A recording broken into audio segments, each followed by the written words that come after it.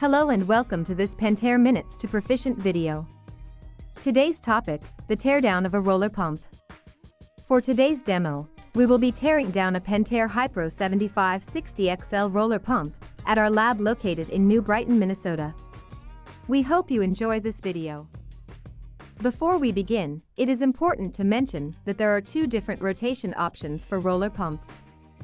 For this video, we will be working with standard rotation. You can easily spot standard rotation because the pump shaft comes out of the main housing. Standard rotation pumps are coupled to a clockwise drive source, such as a PTO or power takeoff. The other version of this pump is for reverse rotation. For reverse rotation pumps, the shaft would be coming out of the end plate, where the bolts are. Reverse rotation pumps operate counterclockwise and are typically found in gas engine applications.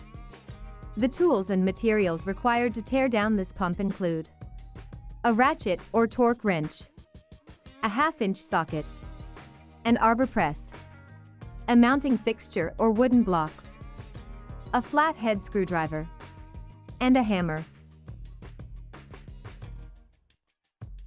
To begin, remove the coupler from the pump shaft. Then remove the half-inch bolts from the end plate. Now, let's go to the arbor press, and we can push the pump apart. Support the pump ports with a fixture or wooden blocks and press out the shaft. Inspect the pump body for wear. If you detect a lip near the edge of the pump body, then the body is worn and the pump is unrepairable. After inspection, remove the rollers and the rotor. Note, for this video we are tearing down the XL version of this pump, which has a floating rotor design. If we were tearing down a cast iron rotor, the rotor would have a set screw that goes through the rotor and locks down tightly onto the shaft. With the rotor and rollers removed, take out the rotor key. It may need to be tapped out with a screwdriver.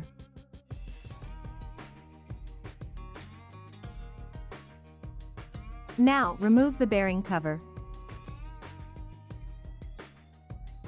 Removing this may require some effort, but it can be removed.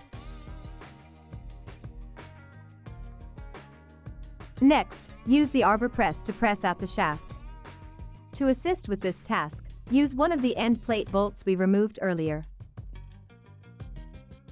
With the shaft removed, inspect the sealing area of the shaft for any pitting, grooves, or damage. If the shaft has damage, the shaft will need to be replaced. This shaft appears to be okay.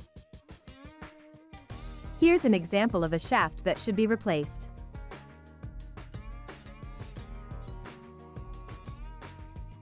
Now we will push out the bearing. Turn the end cover over and use a socket or a fixture that fits on the inner face of the bearing, but that is narrow enough to slip through the casting. Repeat the same steps to remove the bearing from the housing. Now we are ready to remove the seals. To remove the shaft seal, tap it out with a hammer and a screwdriver.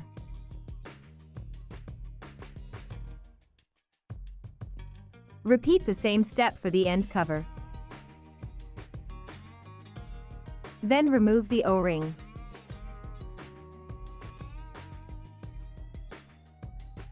Finish by inspecting the rollers for wear or scoring. For reference, a new roller is 1.498 inches in length.